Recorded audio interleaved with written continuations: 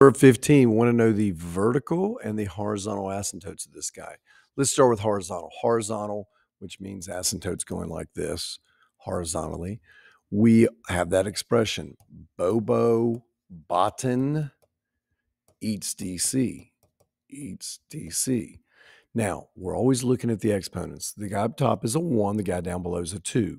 So is it bigger? Is he always going to either be bigger on top, bigger on the bottom, or they could be the exact same power. So if it's bigger on the bottom, it's going to be y equals 0. If it's bigger on top, there's going to be none. And if the exponents are the same, we're going to divide the coefficients numbers out in front. In this case, it's a 2 and a 1. It's bigger on where? The bottom, bigger on bottom. So we're going to say, hey, it's y equals 0. That's where the line's going to be drawn, right on that x-axis. Now, what about the vertical? The vertical, all we care about is what x can't be, which in a fraction, we can't let it be a zero here. So we're going to set it equal to zero because we're going to draw our lines at that spot where it can't be. Notice, ooh, difference of squares. This is an x minus 3 times an x plus 3.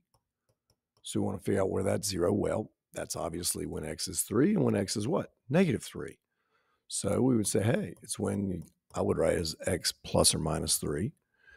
So what that graph would look like, here's the graph. We're going to have one guy right here at x is 3, and this other guy right here when x is negative 3, the line x equals negative 3.